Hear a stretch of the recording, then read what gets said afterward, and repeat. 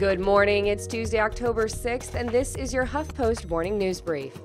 A major victory for President Obama and his economic agenda as the U.S., Japan, and 10 other countries have approved the Trans Pacific Partnership, which aims to lower trade barriers and set commercial rules for about 40% of the global economy. Many provisions are the subject of deep skepticism and outright opposition from voices across the spectrum. And getting it approved by Congress during an election year is no small matter.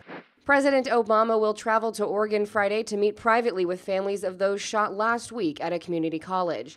Meanwhile, voices for stronger gun control measures are growing louder. Smarter gun laws in this country are long overdue. The lives of innocent men and women and babies and children are at stake. How many more? Floodwaters are receding in Columbia, South Carolina, now leaving behind massive damage. After four days of searching, the Coast Guard now believes a cargo ship carrying 33 people, including 28 Americans, sank to the bottom of the sea in that ferocious category four Hurricane Joaquin.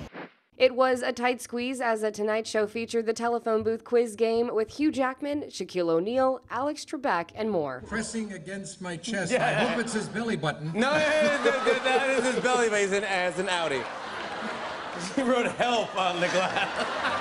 Congratulations, you guys. That means Hugh Jackman is the winner. That's the news you need to know. Consider yourself briefed.